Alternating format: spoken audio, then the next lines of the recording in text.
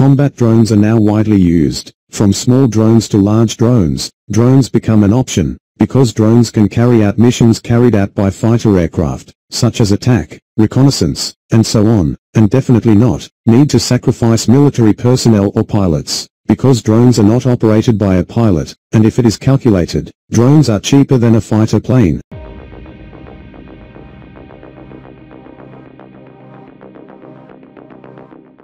Big countries like America, China, Russia, they are starting to use drones in their military operations, although it is undeniable that the use of fighter jets is still a priority.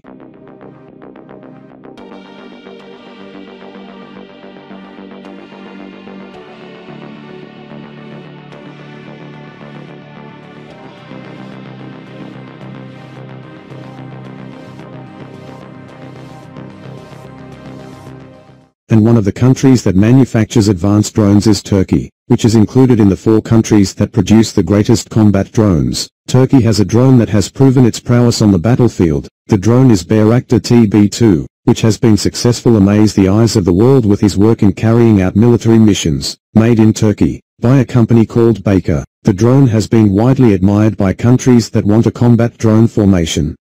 The Baykar company has made many advanced combat drones, one of them is the Akinci drone.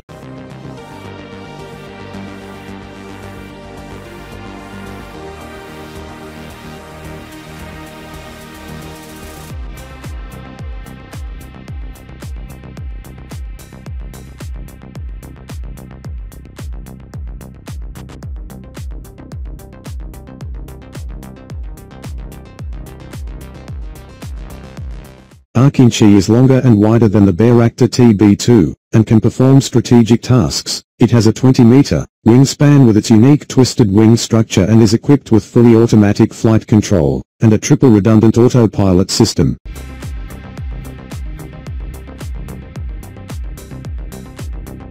Akinci can carry various weaponry, including a range of missiles such as smart micro-munitions developed by prominent Turkish contractor Roketsan. It can be equipped with a locally produced active electronically scanned array, ESA, radar and air-to-air -air missiles.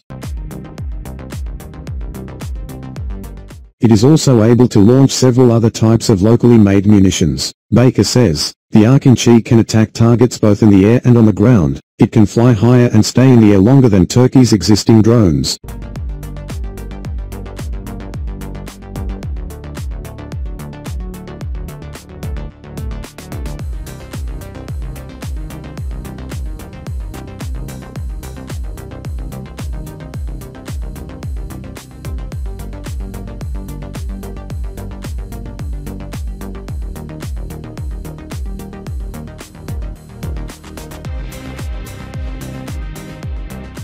The UCAV made its maiden flight on December 6, 2019, having made its first export back in 2012. Negotiations are ongoing with many countries interested in Akinci.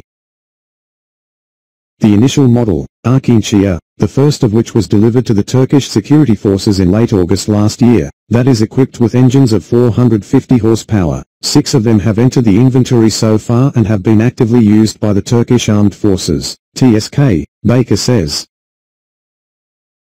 Akinci marks the most advanced drone built by Turkey, which has been expanding a fleet that has already proved its success in the field. The aircraft, whose designs, software, avionics and mechanics all belong to Baykar, is more advanced than Bayraktar TB2 UCAV, which has been widely used and sold to a range of countries.